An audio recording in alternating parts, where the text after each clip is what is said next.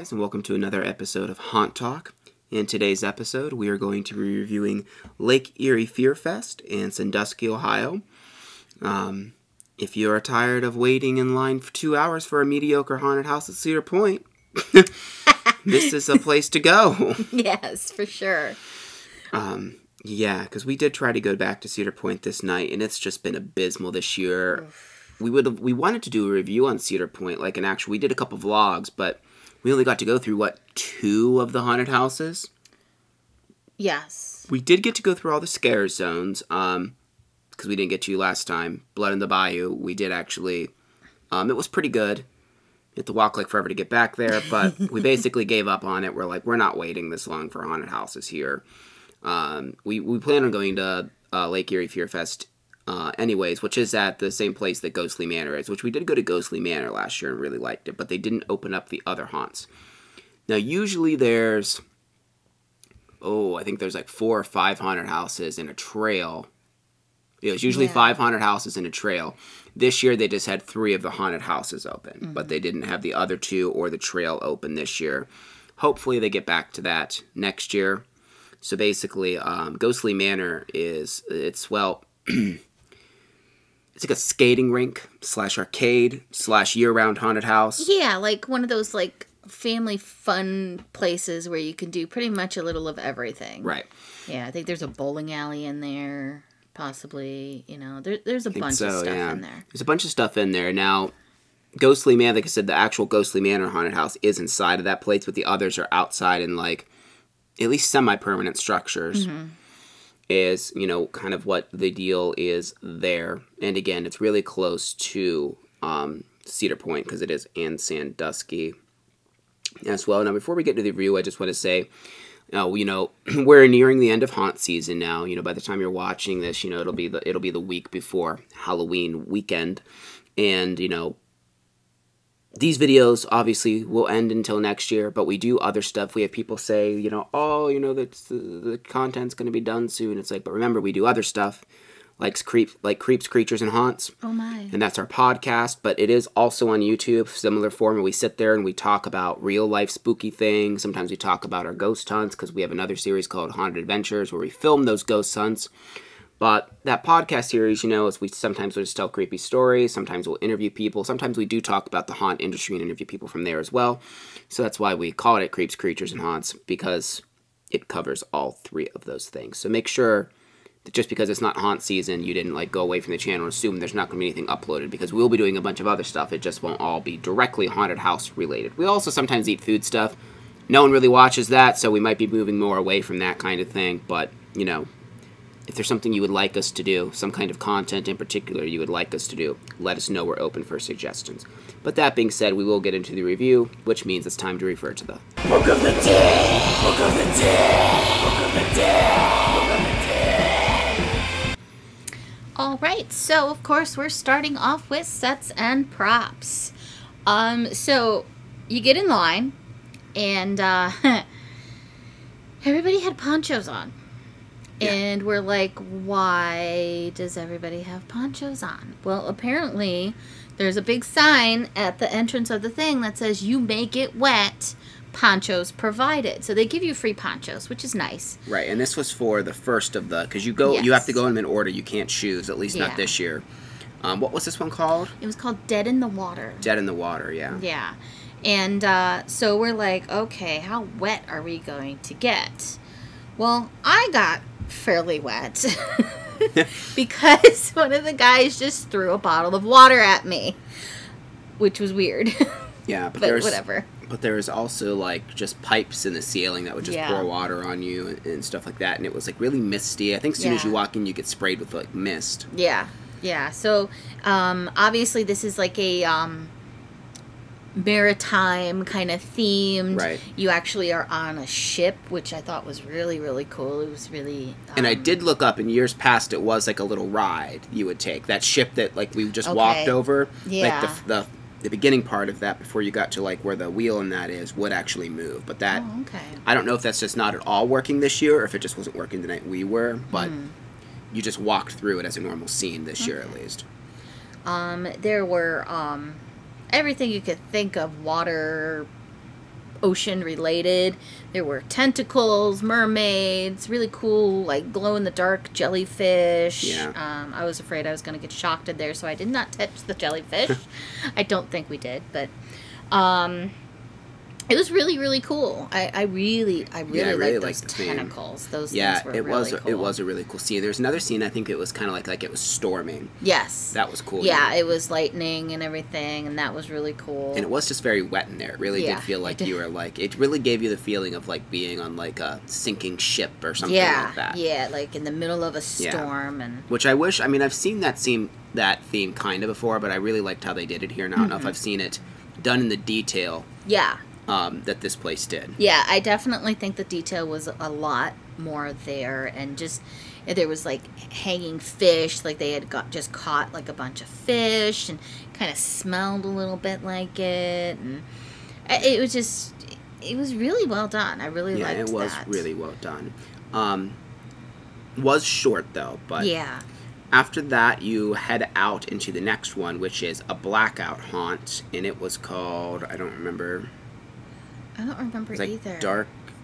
is it Dark Mare. Dark Mare. Okay. Dark Mare. Dark Mare. Now, Yeah. yeah, this is just a blackout haunt, which, as you know, we're not a huge fan of. But as far as blackout haunts go, I did think this was pretty well done. Mm-hmm. Yeah, I had a few little surprises in there because this was the one that had the um, the inflatable wall. Yeah, you're walking down a dark hallway, and all of a sudden, like it's kind of like a claustrophobia tunnel, but there's not on the not on the one side, so it just inflates and kind of pushes you up against the one wall. So that was fun. Yeah. They do have like a few different rooms, like with lasers, and like it's like impossible to see where you're going, so you Mm. kind of have to feel around and the walls and stuff like that. But again, not much to talk about for sets and props in this one because we'll get more in this one in actors because again, it's just a blackout haunt. So Yeah. besides lasers in the wall, like it's not really sets and props. That's the point. Right. But then it leads you directly into uh, the main attraction, I would say, which is Ghostly Manor. Now, this one is kind of um, it sticks over, it it sticks around like a haunted house theme, but Yeah. it does dabble in other things. Like at one point, you do go through what looks like a giant like totem mouth and stuff like that. Yeah, it, it kind of has that old school haunted house theme where it kind of Yeah. goes into a little bit of everything, um, but it is mostly yeah, Yeah, mostly like a, like you're in a haunted stuff. mansion or something like that. Mhm. Um, there were um, a lot of big, like animatronics Uh-huh. and props in here. Um, very well done, like you know, very good distractions and stuff like that. Not like overly done, where some people just you know put them there just to have them. Well, right, and a cool thing is too. It seems like a lot of these props are actually actor triggered, not necessarily sensor. So the Mm-hmm. Timing is generally better. But yeah, one of the first things when you walk into one of the it's one of the earlier rooms, like the whole wall just drops and a giant animatronic just comes flying out of it. That was really cool. I think you screamed. Probably. Um, they have one that I know scared scared me a lot. There's like a chandelier that like falls onto like a metal table that makes this like extremely loud noise. Um, yeah. There was a monster under the table. The table actually lifted up, A and there was a comes out. monster inside the table. That was really cool. that was cool. um, there was this thing in there was like this kids room and it looked like a woman like hanging kind of like from the ceiling. I don't know if she was supposed to be floating or what but she had like tentacles or I- don't know if it was maybe entrails. I don't know but it was like these things hanging off of her and they were like going into kids and things like that and they were going around the room and stuff which i thought was pretty cool. It was pretty, pretty creepy. Yeah. Um, and then the horn I, i'm going to read it from from here. It says horn that made my soul leave my body that's what he wrote yeah. There's this. It's just like a. It's early, really early on. You're just walking down this black hallway, kind of like looking at the room, and you're about like you're kind of about to like go into the main part of the haunt, and there's just this horn that's in a corner somewhere that just blares from behind you and just, just scared the crap out of us. yeah if you're not awake you are now Yeah, yeah. It was. It was very. It's just the stupid little, you know, something like that. Loud noises are the easiest. Mm-hmm. It always pisses me off. Loud noises and air Air cannons. are just the, the easiest ways to scare Yeah. people. But this place is um fairly gener- um is fairly decorated. Ghostly Manor. Uh, I think I think the one I was most impressed with was actually the first one. I think Yeah. Ghostly Manor has a lot of decorations and a lot of really cool props too, though. Mm-hmm. But I just really like the uniqueness of the first one. And again, the blackout haunt's a blackout haunt, but Overall, though, everything was everything was pretty good as far as sets and props go. So we did give it a nine. Right, so that's moving on to actors. Um, there was actually quite a few. Usually, we always have complaints Mm-hmm. that there's not enough, and this one actually had quite a few. Yeah, and I will say actually I don't really know if there's that many of them, but the way they design the haunts, Yeah. they are able to weave in and out because like in Dark Mare, I think there was only three or four actually in the whole thing, but they were able to just weave in and out Yeah. so well that um, it made it seem like there's a lot Mm-hmm. more because they do they do a pretty good job of spacing you out as well. Yes, yeah, because we never. I don't think we ever caught up to anybody. Someone caught up with us towards the end of the last one, and I don't know where they came from. They must have been running because, like, at no point did we ever see these people. Then all of a sudden, they just caught up to us, like at the end, and we're like, they must have got scared and just literally ran through parts of the last haunt. Yeah, But of course, no one can control that. But yeah, the actors were really good. They were very good at maneuvering the way around and really Mm-hmm. trying to scare you. yeah, Props to the chainsaw guy that terrorized a child to the point where she just screamed and screamed Oh that she wouldn't go into the first haunt to the point to the point where the parent just had to take her away. Mm-hmm. She just straight out refused to go in. I think because of how much this guy freaked her out. yeah. And he even tried to like rectify it. He took his mask off. He knelt down next to her. He turned the chainsaw off. Everything, and she was like, "Uh, uh no, I'm not having it." yeah. It was kind of sad, but oh yeah, well. it's okay. They just wasted their money, but Yeah. um, there was yeah, and I do. They had of course lasers. They have a couple like different areas that were kind of like laser swamps, but Mm-hmm. um, I mean the one. I mean, it's nice to actually see a good one when the actor actually utilized it by actually popping up right in front of you, Yeah. and actually scaring you. And the way they had it set up was that the room you couldn't tell how to get out Yeah, of the room. The way that it was set up, the room Yes. was like completely black and like the uh what they used as the entrances, it just totally like cuz you know, when the laser hits the wall, it leaves like a line. And usually you can tell where the entrance is by the line being off. Well, the line wasn't off and we're like in there and I'm like "Uh, where do we go? yeah. After the actor, I think scares a couple times. He like did go and like open the thing so we could like get yeah. out of there. Yeah, it was funny. Um, yeah, and the blackout haunt, um, they were pretty good. They would seemingly come out of nowhere. I noticed, like, I would just have someone like whispering my ear in my ear, and like, however they have it designed, I'm sure there's just lots of like little holes they can come in and out of. But I recognize, like, one of the guys towards the end, I know was one of the people that we saw at the very beginning. Yeah. Um, like, I mean, I know soon as it was kind of cool too. Like, most of these haunts, soon as you walk in, they just would like jump scare you. Like, Yes. actually. You're walking up to the ticket booth, I hadn't even paid yet, and someone comes around a corner and scared the crap out of me. Yep. And then as soon as we were going into Dead in the Water, he scared you again. Actually, there's He, two uh, of there's two of them actually in Dead in the water. That guy and then there's someone else. Yeah. Yeah, he like actually the same guy that got him before we even bought our tickets snuck into Dead in the Water and he got him again. I thought that was pretty funny. I was like, that's the same guy. yeah, yeah, I did. It was cool, and they, they were pretty good at double scaring. One of the one of the cooler scares uh, that happened throughout the night is we were walking to a claustrophobia tunnel, and I had a guy that was stalking me, and I kind of like knew he was like behind me. I kept like looking over my shoulder because he was just kind of slowly creeping up on me, and then. Um, someone actually came out of the claustrophobia tunnel and scared Kim, Got and then as soon as he did that, that guy, because that guy started on me, then this guy came up right behind me and like screeched in my ear, and then I jumped into yeah, it was really good, really effective. Um and that's something else they would do. They would activate a like you could tell if you like look closely enough that they would like hit a button that activates a prop and then as this prop's coming you're like oh my then they'll like run up and be right here too. Yeah.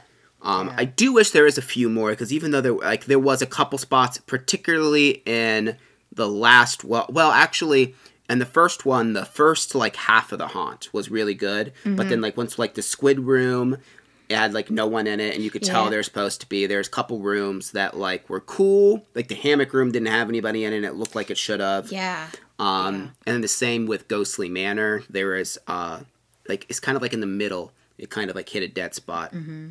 Oh, and then there was the that guy. Um, when we were walking up to Ghostly Manor, Oh. the Oh yeah, so we're walking. There's these weird hallways. Like when you get into this, the second haunt, when you leave, there's like this weird hallway that you have to go. it's like, an outside hallway to get you from this haunt to the other yeah, one. and yeah. we're walking up, and at the end of the hallway is a light that's beaming down, and there's an actor there, and like I don't think he even saw us at first. and he's just like Which makes it better. it makes it even better and he's just like doing this and just gyrating and just doing all this weird shit under this light and we're just like And the closer you get to him, the more crazy he gets. yeah. To the point where we get close, he like moves against the wall, and he's just like his eyes roll back in his head, and he's just like paying us no mind. And I'm like, okay, and we're just like okay hi we're just gonna go in here bye yeah, it was really weird but it was really funny yeah. He was cool. He's like a voodoo looking. Yeah, yeah. but yeah. Um, so we did give actors 9.25. Mm-hmm. Because, of course, you know, could always use some more. Yeah, if it was just wasn't for a couple of those dead areas, yeah, but the ones that were there are super energetic and really good. And I'm hoping that they're able, and I'm, I'm wondering if that's why they maybe didn't open up the full haunt. Maybe they didn't have enough Maybe, actors for it all.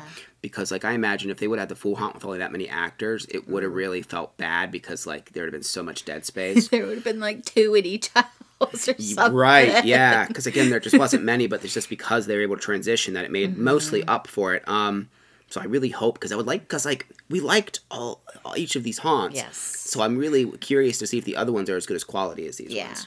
So moving right along to scare factor, um, it is definitely feels a little bit more of like one of those old school type of haunts with just a lot of jump scares and stuff. Um, you know, it's like there is good atmosphere, but it's more about like the old school, like people like jumping out and going boo at you. But there isn't a lot of like stalking in the houses themselves. No. Like in the blackout haunt, a bit, and they do follow you a little bit, but like no one touches you or anything. It's more about them jumping out and getting good jump scares out of you, yeah. um, and like refinding different hiding places and stuff. Um, like and like we said, they, they have a good use of animatronics. Um, and then actually some of the animatronics, even the ones that I don't think were activated by actors, actually got me. Yeah. Yeah. Like they're just placed so well, and the animatronics are hidden so well that when they like just randomly pop out of something, it does startle you. Because they had some in like in drop windows and Mm-hmm. stuff like that. And the drop window would go and you thought it was going to be an actor and it was actually an animatronic that just like comes out of it. Yeah. And it just, it, it gets you every time. There, yep. Not a lot of gore at this one. There is like the only two real scenes I remember that were gory is they have a body bag scene and there is one where you have to push your way through like pig carcasses and like Yeah. a, in a kitchen scene. Um, but everything else was more like spoopy themed. Yeah. And like I said, the ship one was very a ship. yeah. Yeah. I mean, if you don't like fish, you might not like walking through fish, but that's Right. it. But I mean, like you know, should how was this for someone that's younger? Um, I mean, there, that girl that ran away, but then there was like a five. There's a five year old that seemed to make it through okay. So it just really depends. Like, like I said, the atmosphere. Like this is a fun one. It's kind of like Ghoul Brothers or something like that, where it's mm-hmm. scary, but it's not like that foreboding like adult atmosphere, like something like the Haunted Hoochie or like Chippewa Lake Slaughterhouse or something yeah. like that, where they're like a different type of intensity. We did still give it a nine though because of the amount of jump scares and all of that though. Like this is definitely one that I would definitely take with caution if you're going to take someone younger to this um, to this haunt, and if you are looking for something with a lot of jump scares to really like get your scream on, this one is a pretty good one. Yes. All right, so that brings us to value. It's $25 for the three haunted houses. I think it's $25 when all of the houses are open. I'm not absolutely sure on that. I'm not sure either. Yeah, I don't know. Um, it said $35 for VIP, which is Fast Pass, of course. Um, it took us about four minutes to get in, uh, get through Dead in the Water. Six minutes for Dark Mare, which was the blackout haunt, and about six minutes for Ghostly Manor. Mm-hmm. So, I mean, And Darkmare could take you longer because Yeah. it's kind parts of it are kind of a maze, Yeah. kind of. Yeah. So keep that in mind that that one could take you a little bit longer or a little bit shorter if you really find your way out quick. But yeah, so think about like, you know, maybe 15 to 20 minutes yeah, for the whole thing. Um, we did give it an 8 because Mm-hmm. of that. yeah, it's decent value. I just wish the haunts were a little bit longer. Um, you know, if the whole thing was open and it was uh, only if it's I don't know again if it's twenty five with the whole thing, then definitely the value would be up. But still, it's still decent value because the haunts are um, pretty good, even though they're short. Yeah. And then that brings us to overall, and we gave Ghostly Manor, or I'm sorry, Lake Erie Fear Fest, Yeah. a nine. Yes, absolutely. We were excited that we actually got to go this year and that they did at least a couple of the other haunts because we really enjoyed. And I do think we enjoyed Ghostly Manor in and of itself better last year, just that haunt. But they also just had that was the only one that was open, so it was crazy. Act like the actors that were in there were really just everywhere. Oh yeah, they were everywhere. Um, but with this one, since they're spread a little more thin, but you know, overall, I really did enjoy the experience. Um, I highly recommend if you go if you're there for Cedar Point, um, to try and make the trip there. If especially if you're finding that the haunts at Cedar Point really aren't scaring you as much as you would like to be. yeah, and even in the off season, if you if Yeah. you're getting that itch to go to a haunted house, this one's open year round. It is open year round. It's a nice one to go Check to. it out. I've went there one time in the off season, but this was years ago, and they only had one actor working it. But like the way they weave in and out with the props and stuff, they still did a decent job. Yeah. Because again, I don't think they have enough capital and like resources to be paying like a full set of actors all the time. you know, seven days a week. Right. You know, so but it is a good. It's nice that that we actually have that option um, of something because there's not many year rounds, and I wish there were. But Yeah. but that being said, thank you very much for watching this video. Leave us a comment. Um, a lot of you had commented because of the giveaway we were doing, and you know that is over now. But we do appreciate actually hearing from you. Yes. It's amazing how many people that you know the giveaway brought out. So you know, comment on our videos. It helps the algorithm. It's just to me little things like that help us. If you like our stuff, uh, make sure to check out our Patreon. We have different tiers. We have a video on that, and the link for that is always in the description of every video. Same with our social media, so make sure you um, follow us on that. Um, Facebook and all that, because we post anytime we like upload a video. Makes it a little bit easier because sometimes YouTube like doesn't show people the videos that are uploaded. And also, of course, make sure to like and subscribe and click the bell notification so that you don't miss any videos and YouTube actually does send you the notifications when we upload. Thank you very much for watching, and we will see you in the next video. Bye.